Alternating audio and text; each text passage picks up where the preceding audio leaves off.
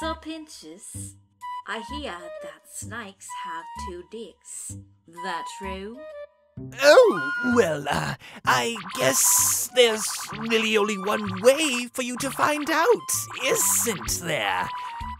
Alright, let's get to it. Uh, I, uh, well, I mean, if you want to, Miss Cherri. Mr. Snakey. With two